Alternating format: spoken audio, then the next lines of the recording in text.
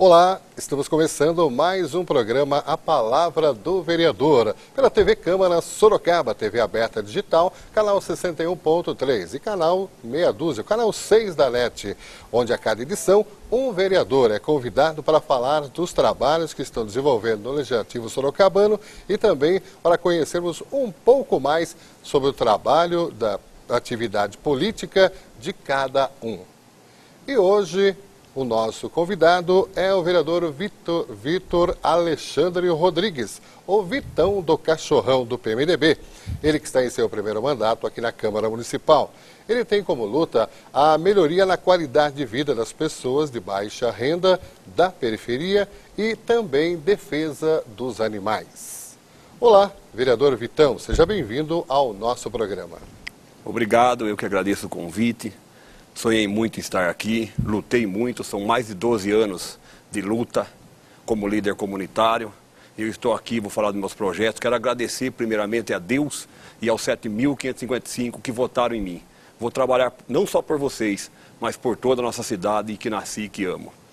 Vereador Vitão, o senhor é comerciante. Há quanto tempo você atua no comércio? E esse contato com o público te ajudou, de alguma forma, a conhecer melhor os problemas da comunidade, Vitão? Com certeza. Eu atuo há mais de 22 anos, completou 22 anos agora, em fevereiro, bem no dia do meu aniversário. O comércio, para mim, foi um presente de Deus mesmo. Eu amo o que eu faço, continuo vendendo cachorro-quente até hoje, continuo lá todas as vezes, mesmo como vereador, porque eu também quero, não quero perder esse contato maravilhoso que eu tenho com o povo. E também indicar, trazer aqui para a Câmara, com essa estrutura que a gente tem aqui hoje na casa. Então, né, além do, do, trabalho que você desenvolve lá, nós temos inclusive uma foto aí, né? Temos uma foto, né? Podemos mostrar a foto em que o Vitão está atuando lá no seu carrinho. É, essa é quando... Essa quando criança. Deu saudade, esse tempo o meu cabelo era bom. Aí é com meu foto? pai essa foto é muito legal, porque foi era na rua ainda, esse, nesse momento o lanche era na rua, ali na Salvador Stefanelli, no Jardim Zumira, é, atravessa com a Tereza Morales Garcia. E essa aí, e aí, é no dia de hoje. Você é o Vitão vendendo cachorrão lá, né? Ah, e como foi o início, ô, Vitão, da sua vida na política?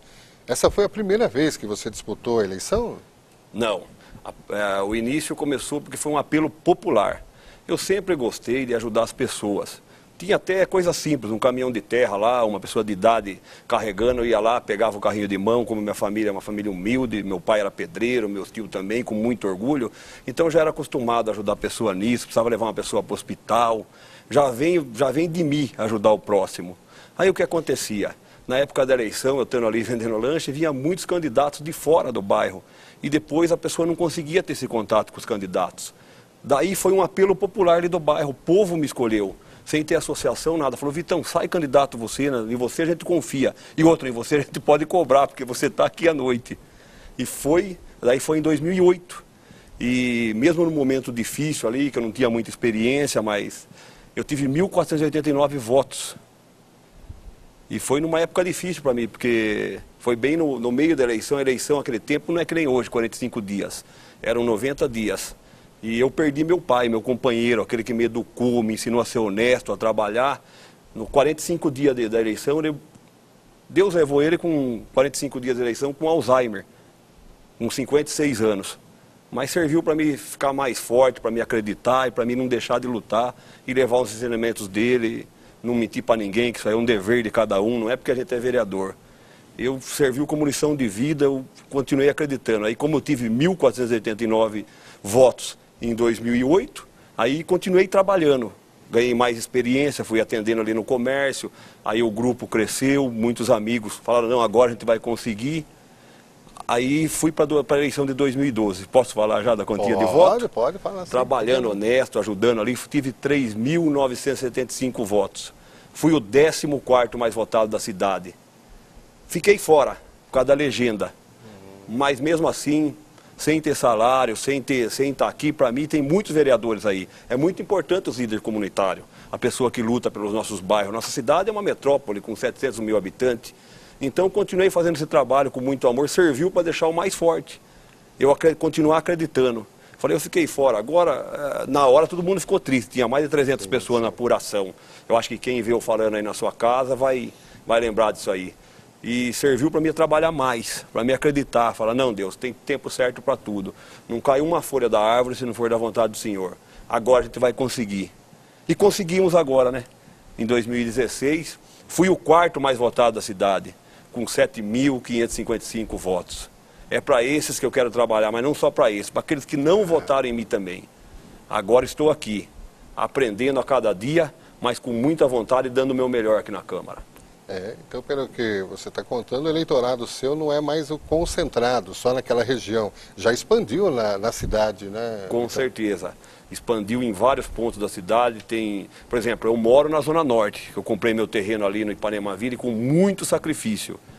Paguei lá em 48 parcelas. O que eu fiz, eu dei entrada com 17 anos no terreno. Graças a Deus, o que eu falei para você, meu pai já me ensinava.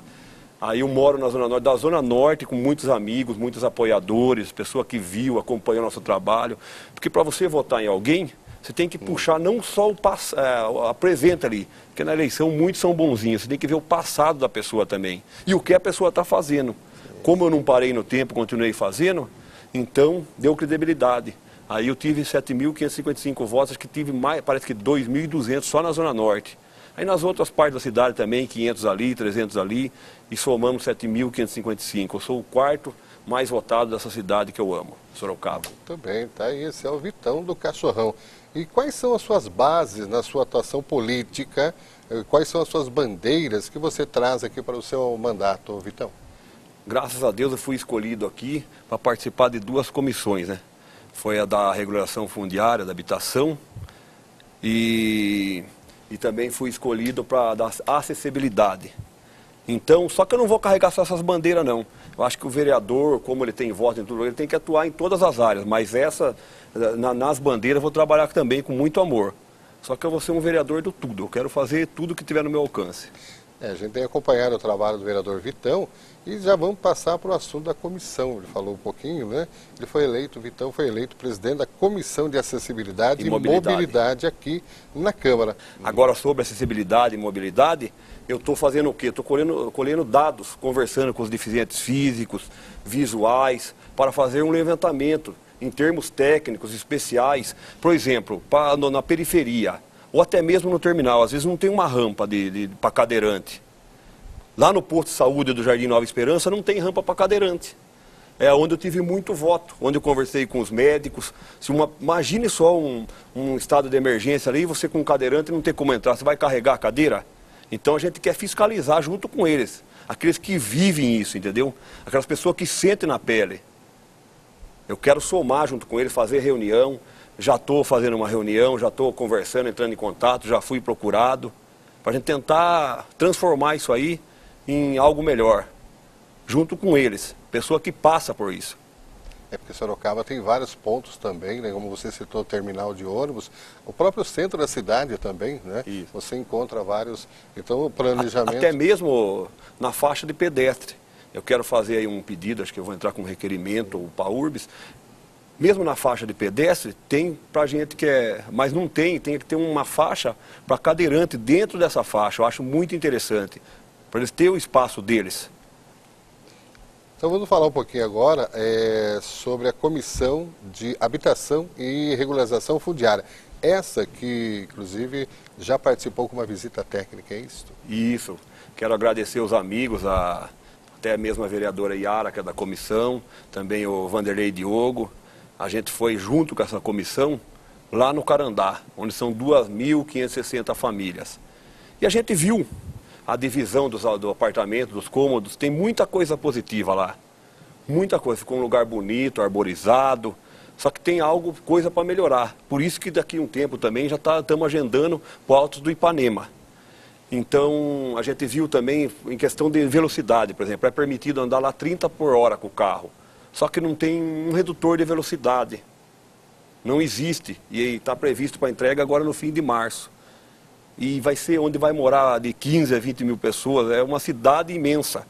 Então a gente tem que ver com nossos olhos lá para tentar buscar melhorias junto com os colegas da comissão. E já tem alguma coisa já firmada? Algum Tem que a gente só vai voltar lá para acompanhar o Alto do Ipanema. Mas o que eu vi de muito positivo lá é a UPA que tem lá dentro, um hospital de primeiro mundo. Pelo menos o espaço que deixaram, a altura do hospital, com muita sala para atendimento da pediatria. Vai ter, é um espetacular, eu achei. Espero que a prefeitura aqui contrate médicos, né? Profissionais, dê estrutura, não deixe faltar medicamento. Eu estou junto com eles para acompanhar e fiscalizar e cobrar e pedir. Tá, então além desse projeto aí, falando da próxima visita, né? Vamos passar também é, algum requerimento que você já tenha protocolado aqui na casa. Lembrando que o requerimento, o vereador, ele tem esse, esse material, esse objeto, né? Em que faz contato com a prefeitura, não é isso, Vitão? Isso. Na primeira semana que eu entrei aqui na casa, eu, como moro na Zona Norte e me senti na pele deles, o que, que eu fiz? Eu já protocolei um requerimento para a volta do atendimento pediátrico na Zona Norte. Veja bem, uma mãe que mora lá no Vitória Regia, no Herbert de Souza, no Abiteto, a febre não avisa às vezes. Uma criança com 40 graus de febre, uma hora da manhã. Ali a maioria das pessoas, como eu vi, carente, não tem carro, não tem condução.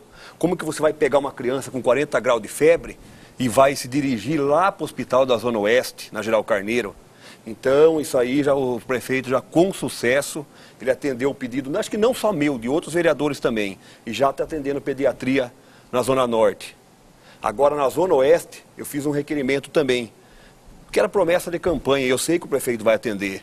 Só que a cobrança, como eu estou ali fazendo lanche ali na divisa da Zona Oeste, que é a casa da minha mãe, com a Zona Norte, não voltou a atender adulto ali. Então entramos com um requerimento para atender também os adultos, para ficar como era antes. Hum. Eu creio que a cidade vai renascer, Sorocaba vai andar para frente com isso aí. Tá, estamos falando aqui com o vereador Vitão do Cachorrão, né? E além desse pedido que você falou agora do, da volta, né? Dos atendimentos em ambos os PSHs e é, na cidade também como um todo, é, você tem algum outro requerimento que foi pedido é, nesse sentido de saúde também? Mais algum outro? Então, foi sobre a saúde pública, a situação que é no momento mais difícil da vida da gente, quando você perde um ente querido, a situação do cemitério Santo Antônio é terrível. O solo, a gente acompanhou, a minha equipe acompanhou um velório lá, um enterro no dia de chuva. No dia que está sol, já é terrível. A, a, pessoa não pôde ver ali o ente querido ser aterrado, porque era uma pessoa de idade e não pôde chegar até a cova. O solo totalmente desfigurado. Imagina a gente que é perfeito não conseguia acompanhar ali. Imagina alguém que depende de uma cadeira de roda. Daí eu entrei com. E também pedi uma tenda porque a pessoa no sol, na chuva, um sol de 40 graus, uma chuva, como que você vai velar alguém naquele momento mais difícil da sua vida? Que você está perdendo aquela pessoa que você ama, que às vezes morou com você 50, 60 anos, ou é um filho que acabou de nascer. É um momento terrível ainda você ter que passar por isso. A gente paga imposto. Então a gente já entrou com um pedido dessa, tentar uma recuperação desse solo, passar uma máquina, plantar uma grama. Eu acho que é o mínimo de direito que o cidadão tem. Foi aprovado hoje a construção de, de, de, de casas de pelo menos 40 metros quadrados, caseiros nas escolas municipais porque isso funciona na estadual. Está tendo muito furto. Pessoa, no fim de semana, toda segunda-feira, o CI 67 ali na Vila Barão mesmo, foi roubado 16 vezes em dois meses. Foi furtado. Sim. Então eles roubam a fiação, roubam mantimento, é, daí segunda-feira a mãe chega lá, a mãe e o pai tem que trabalhar. Porque ali na Vila Barão, Nova Esperança, Vila Helena, nossa cidade, a maioria das pessoas trabalha, ganha o pão de cada dia. Ele trabalha hoje para comer amanhã. Sim, sim. E chegando lá, tem que levar a criança de volta e não tem com quem deixar a criança. Porque toda segunda-feira, ou até mesmo no meio de semana, na calada da noite, estão roubando essas escolas. Então você está acompanhando o programa A Palavra do Vereador. E hoje estamos recebendo o vereador Vitão do Cachorrão. Vamos a um rápido intervalo e na volta o vereador vai falar mais de requerimentos e o atendimento à nossa população.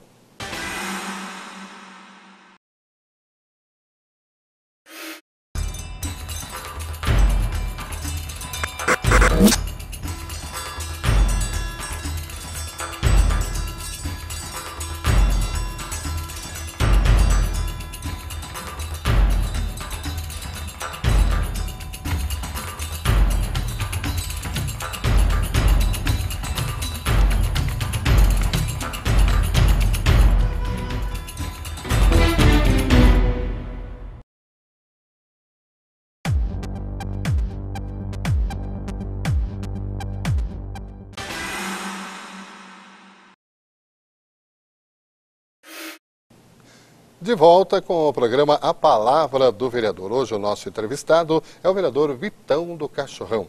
E nós temos aí, Vitão, mais projetos aí para falar. Falava de um projeto que você tem essa atuação, hein? Vamos lá? É sobre um projeto de lei para obrigar que dispõe nas escolas e nas creches municipais alimentação especial e diferenciada para as crianças diabéticas. São mais de 40 mil eh, eh, crianças aqui em Sorocaba. Eu fiz um levantamento com diabetes. Então não tem uma alimentação especial. Se tem uma festa na escola, é, ele vê um bolo de brigadeiro, alguma coisa, tem que ter um bolo diet para ele. Tem que ter alguma alimentação zero, entendeu? Não só as crianças com diabetes, também a tolerância à lactose e obesas. Então a gente entrou com esse pedido para todas as creches municipais para oferecer aos alunos diabéticos celiáticos, intolerância ao glúten, tolerância à lactose e obesos. E agora a gente está aguardando a resposta ainda. Isso daí foi um pedido para... Foi, foi um pedido para as escolas municipais, municipais para as creches. creches, para que eles façam o quê? Qual a atividade que eles têm que desenvolver? Separar o lanche, fazer um, um alimento especial? É fazer é um levantamento, hum. fazer um levantamento de quantas crianças tem em cada escola, em cada creche, para ter uma alimentação separada, porque eles não podem comer o que a gente come. Tem criança que desde os zero aninhos de idade eles tomam três insulina por dia. Então, eu tive também conversando, uma pessoa que é diabética, que tem uma alimentação balanceada, uma alimentação correta e faz exercício, ele pode até durar e ter mais saúde do que a gente, que não faz exercício, mas que não tem diabetes. E agora a criança que come errado, que não, que não, que não obedece, que não tem, não é, não é criança, a escola que não tem isso. A criança pode chegar só até 15 anos de idade. Você entendeu? Por forma de não ter uma alimentação adequada. E isso está acontecendo na nossa rede municipal, uma quantidade de crianças que não estão sendo atendidas devidamente por causa da doença, é, é, os alimentos, então, não, não tem uma diferenciação ainda, é isso? Não nas tem. escolas? Eu acho que em 2014, 2013, pelo que ela falou para mim, tinha. Agora parou. Ah, então a gente tem que ah, tá. fiscalizar tá. isso aí. Por isso que eu fiz esse projeto de lei. É um projeto de lei que vai ser implantado primeiro, então, nas escolas municipais. Nas é escolas é municipais. Mas tem que tá. se estender também para estadual, porque existem crianças e adolescentes em todas as escolas, né? E ele se alimentando de forma adequada, é qualidade de vida. Se ele fazer isso, fazer exercício, entendeu? Eles vão ter uma vida até melhor do que muitos que não têm diabetes. Ah, e além desse projeto, você já tem é, algum outro requerimento que gostaria de apresentar à nossa população? Eu acho que eu citei alguns dos, dos, requerimentos nossos, mas eu estou sendo muito procurado pela população, não só para fazer requerimento, mas uma coisa comum. Nossa cidade está cheia de mato, nas praças, você entendeu? Às vezes a gente tem, tem bairro que não tem uma academia no ar livre para incentivar o pessoal da terceira idade, uma pista de caminhada. E as que tem ficou parada, ficou sem reforma. Por exemplo, no Jardim Humberto de Campos, foi inaugurada uma quadra há 16 anos atrás e nunca foi feita uma reforma. Eu, como líder comunitário, porque eu estou aqui como vereador agora, mas Sim. eu já tenho esse trabalho há mais de 12 anos. Então a gente recolheu no tempo 800 assinaturas para uma simples revitalização da praça. Não só lá, como a maioria das praças ali da Vila Barão, Jardim Zumira, do Ipanema Ville. Hum. Se você vê a situação da praça, cheio de mato, alambrado quebrado, as traves quebradas, é perigoso até acontecer um acidente. É, a gente pede primeiro a limpeza, depois a revitalização, o incentivo ao esporte, pode colocar lá um professor de educação física, você entendeu? Fazer um projeto desse na periferia, eu já consegui parceiros que vão lá, é, se tiver iluminação, é, trazer o jiu-jitsu, a menina que quer jogar vôlei, não só o futebol, só que não tem estrutura nenhuma. Então a gente está tendo muito pedido, já fiz mais de 250 ofícios de pedido do povo que liga aqui, às vezes uma troca de lâmpada. Então a gente é o fiscal do povo, né? A gente está aqui eleito para atender e todos os pedidos possíveis a gente manda para cima. Espero que o prefeito atenda. Os requerimentos aqui na casa, Vitão, eram sete dias, uma semana para a resposta. E hoje é, são 15 dias. Mas não é resposta, é execução, é a obra realizada, é o pedido atendido. É isso, Vitão? Isso, a gente quer uma resposta concreta, né? Porque, veja bem, os jovens do Jardim Zumira recolheram quase mil assinaturas para uma pista de skate, por exemplo, que lá não tem área de lazer. Então, a gente não quer aquela resposta mecânica. Ah, estamos analisando, será executado. E, por exemplo, eu fiz esse abaixo-assinado, respondi essa resposta mecânica, já faz há mais de dois anos. Foi aprovado tudo e até agora nada. Você entendeu? Então a gente quer uma resposta concreta. Pelo menos para que a coisa ande, né? Porque o povo é nosso fiscal. Lembra, lembrando que o vereador, é, é, importante, eu acredito, Vitão, a gente reforçar bem isso, né? O pedido chega no gabinete do vereador Vitão. Tá? Ele preenche então o requerimento. É um pedido né, formalizado para o executivo.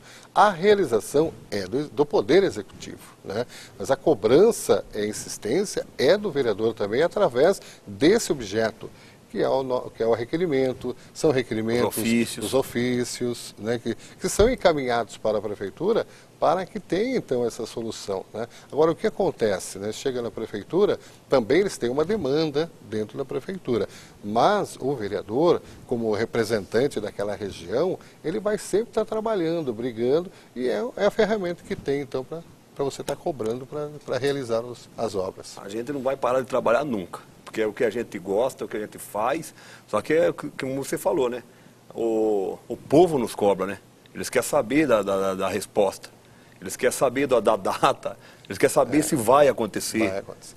Uma pessoa recolher no sol mais de mil assinaturas, 800 assinaturas para uma simples revitalização de uma praça e ficar, não sair do papel, eu acho que isso não pode acontecer. Mas eu acredito no prefeito, acredito que as coisas vão começar a andar. É recente certo. tudo o governo, mas tem um, muitos novos aqui na casa, os, tem os experientes que ficaram também. Acho que a gente vai somar junto e vai fazer muita coisa boa aqui para essa cidade. Certo. E tem mais algum outro requerimento que você gostaria de falar? Algum assunto que você gostaria de destacar hoje aqui no nosso programa? Requerimento tem... eu falei quase todos. Isso, eu quero falar que mesmo como vereador, eu também continuo lá no meu lanche. Então, às vezes, a pessoa não tem condição de vir aqui porque está trabalhando ela está trabalhando de dia no horário comercial. E ela não pode levar as demandas para o vereador. Então eu estou lá no Salvador Stefanelli, às vezes tem um assessor meu, o que a gente faz porque a gente gosta. Então, para mim não tem 8 horas de trabalho, 9 horas, às vezes a gente trabalha 16 horas, 15 horas. Então tem alguém lá sempre para anotar um pedido também. O município que precisar de mim, eu estou lá à disposição. Aquilo ali ainda não tem a forma no escritório no bairro, mas a gente anota de papel e caneta e faz aqui os requerimentos, os ofícios. E estamos indo visitar também os bairros. Isso é importante. Eu sempre fiz isso antes de estar aqui. Então, é importante a gente ficar aqui, atender aqui. Só que eu estou separando um dia por semana. Às vezes a pessoa vem aqui, Vitão, vá lá no meu bairro. Precisa de um tapa-buraco. Às vezes um sai, fez uma reforma lá. E como tem essa empresa ainda, que até o próprio prefeito Crespo falou que vai mudar isso aí. O SAI vai lá, conserta um cano, abre o buraco, aí isso tem é que ir outra empresa para depois passar o asfalto, outra para cimentar a calçada. Aí o, o conserto foi consertado ali imediatamente. Aí demora 30, 60, 90 dias e o buraco está lá, causando acidentes no meio da rua, causando esse transtorno. Então eu gosto muito de ir no bairro. Eu quero ver se uma vez por semana aí, ou uma vez a cada 15 dias, fazer um programa legal aí para mim visitar os bairros também sair daqui e ir de cara com o eleitor. Porque o melhor projeto, o melhor requerimento, o melhor projeto de lei vem do povo. Então, lembrando que o Vitão do Cachorrão está atendendo no lanche, no bairro Zumira, e também aqui na Câmara. É o gabinete. Qual o gabinete? O gabinete 19. Gabinete 19. Eu quero agradecer a minha equipe também, que me ajudou para chegar aqui, que tem trabalhado com muito amor. E que é o nosso coração, né? Às vezes eu estou visitando um bairro, eles estão aqui, dão conta do recado, depois me avisam, eu ligo para a pessoa. Quando não ligo é porque já resolveu, eles mesmos ligam. Então a gente trabalha aqui em família, em sintonia, com muito amor pelo que a gente faz. Tá certo então, né? Nós vamos agradecer você, Vitão, por, por estar com a gente no programa A Palavra do Vereador. Eu que agradeço esse convite. Fiquei muito feliz, acho que eu sonhei, esperei muito por esse momento. Tenho muito que aprender, mas tenha certeza que tudo que eu fazer eu vou fazer com coração, com amor.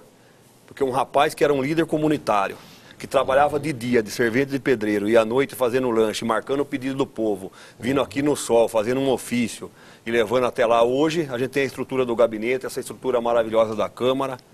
Eu quero agradecer a Deus e dar o melhor de mim a cada dia que passa. Tá certo. Então, muito obrigado ao vereador Vitão. E você pode acompanhar os trabalhos dos vereadores aqui na Câmara de Sorocaba, acessando o nosso site, câmarasorocaba.sp.gov.br. E lá, inclusive, tem o ícone Fale Conosco. Você pode acessar e vai remeter, então, a pergunta ou a sugestão para o vereador Vitão do Cachorrão. E até o próximo programa A Palavra do Vereador.